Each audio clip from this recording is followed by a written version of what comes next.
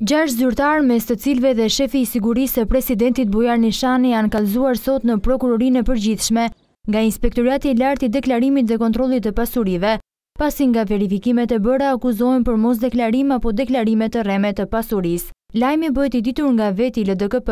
sipas të cilit gjashtë zyrtarët pas verifikimeve të kryera, rezultojnë të kenë konsumuar veprën penale, refuzimi për deklarimin, mosdeklarimin, fshehjen ose deklarimin e rremë të pasurive të personave të zgjedhur dhe nëpunësve publikë. Kështu ILDKPI ka kallëzuar pranë Prokurorisë së Përgjithshme, zyrtarët, Silvana Maksuti, kryeinspektore, Inspektoriati Shtetëror i Punës dhe Shërbimeve Shoqërore në Durrës, Krenar Ahmeti, Drejtoria e Përgjithshme e Policisë së Shtetit Tiranë, Taulant Kurti, Inspektor në Drejtorinë e Përgjithshme të Tatimeve në Tiranë, Florant Prifti, Inspektor Hetimi në Drejtorinë e Përgjithshme të Tatimeve në Tiranë, Lirim Nehanaj, Kryetari i Komunës Gruemirë, Malësi e Madhe, Ylli Kupi, Kryetar Komunës së Petrelës në Tiranë. Sipas ILDKPI-së, do të njoftohen dhe institucionet eprore të këtyre zyrtarëve për të kërkuar marrjen e masave disiplinore ndaj tyre.